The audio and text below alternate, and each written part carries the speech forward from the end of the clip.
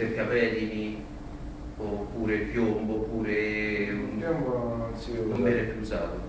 Per questo vi consiglio insomma, di guardare, c'è un, un, sito web, un produttore di materiali molto interessante, si chiama Acustica Integrale, potete dare un'occhiata al sito, acusticaintegrale.com, comunque ci sono diversi materiali a seconda delle, delle esigenze, quindi sicuramente eh, la tecnica più usata è quella di cartongesso, fibra per cartongesso e parete resistente, materiale eh, rilevante può essere catrame, può essere un composto, comunque sia, che alla fine è tipo piombo alla vista, però sono composti da più materiali che non occupano molto spazio, poi un altro strato di cartongesso a seconda un attimino del, della, del tipo di intervento. Il grado anche di isolamento esatto. puoi ottenere. Sì. Si parte mh, sempre, quasi sempre, da un pavimento flottante, comunque sia. Il pavimento flottante, certo.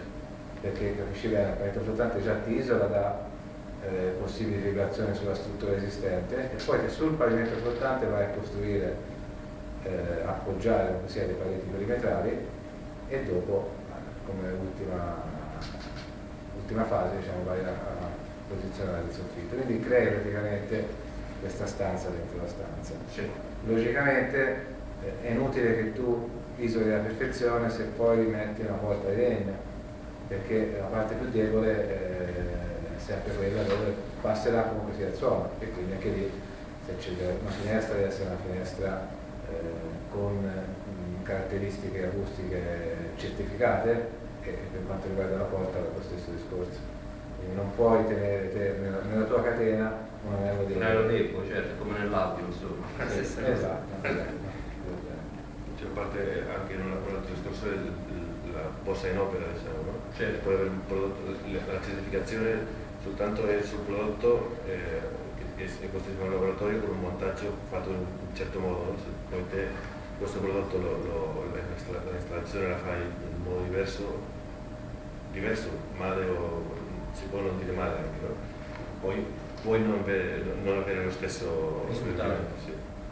Quindi nonostante il prodotto sia certificato, l'installazione è una fase cruciale per l'isolamento.